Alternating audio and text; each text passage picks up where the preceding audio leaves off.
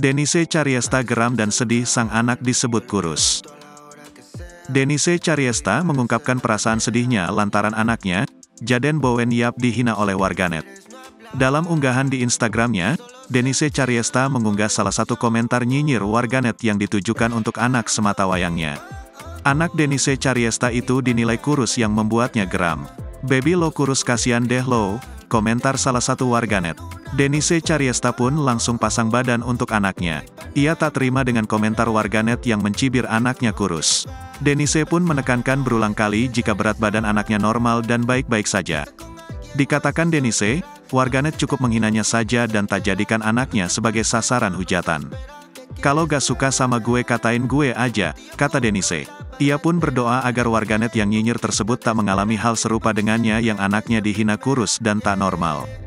Denise Cariesta merasa sedih dan sakit hati melihat buah hatinya yang tak berdosa dihina.